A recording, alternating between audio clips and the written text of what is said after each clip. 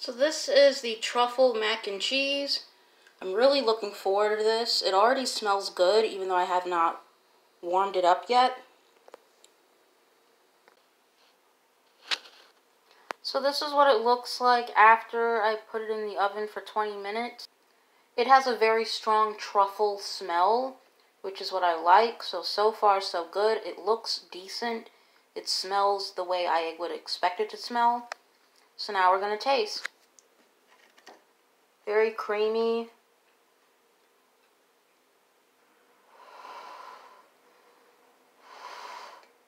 This is the bite.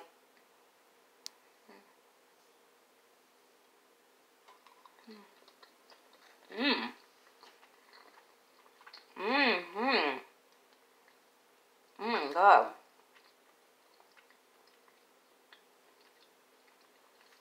Mmm.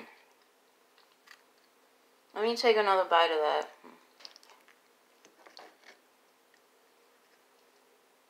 This is it.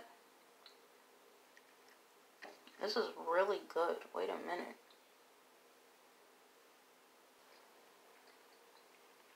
Wow, that is spectacular. I'm definitely going to order this one again. Um, I highly recommend it. Like, this is like a really good portion. It tastes amazing. And I'm starting to think that maybe I should stick to more vegetarian dishes tr and try to stay away from anything with meat or too much meat because all the meat dishes that I've gotten, like the ribs, the steak, those were dry and inedible and I had to throw them away and it was such a waste of money. But all the vegetarian dishes, besides the lasagna, the lasagna does have meat, but it's like in a lasagna, it's in pasta, so it's not going to be dry and flavorless. So yeah, that's the conclusion that I've come that I've come to so far because I don't know, like this company, these restaurants that cook these dishes, they don't know how to season their meat. They don't know how to cook it. It's like dry, flavorless. It's just so underwhelming. But all the vegetarian dishes are very flavorful.